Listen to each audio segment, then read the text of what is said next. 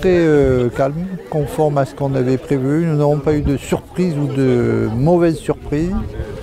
Euh, on avait prévu les moyens, puisque vous savez que la rentrée se prépare quand même bien en amont. On a procédé aux ajustements qui étaient nécessaires. Tout cela s'est passé euh, normalement, dans la sérénité, mais évidemment, nous sommes très attentifs à l'évolution des situations en vue de la préparation de la rentrée 2017. Dans le premier degré, on a un petit fléchissement d'effectifs conforme à nos prévisions. On va voir au mois d'octobre s'il correspond à ce qu'on avait prévu. Dans les collèges, un léger fléchissement.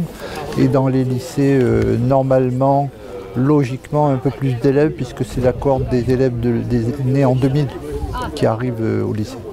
Euh, chaque année, Augustin Boropo, président du conseil général, faisait une tournée de la moitié des collèges. Ils sont 13 euh, cette année. Euh, J'en fais 8 parce que je me suis levé dans ces pas, c'est une très bonne chose euh, d'aller au contact euh, des élèves, euh, des personnels encadrants, des enseignants et puis de nos personnels aussi du conseil départemental, puisque nous avons gardé la compétence et c'est un moyen aussi euh, euh, de, démontrer qu'on est proche euh, des acteurs du, du terrain, de celles et ceux qui préparent l'avenir de notre c'est-à-dire l'avenir des enfants.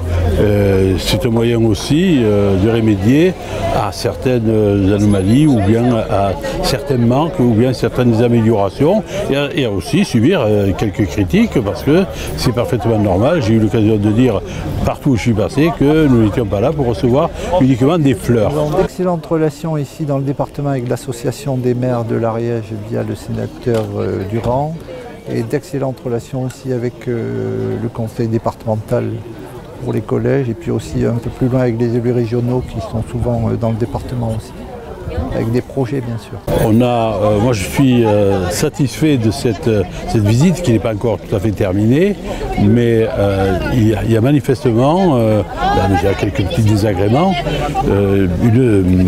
la reconnaissance du travail permanent des personnels du conseil départemental pour améliorer la situation, le fonctionnement de ces établissements.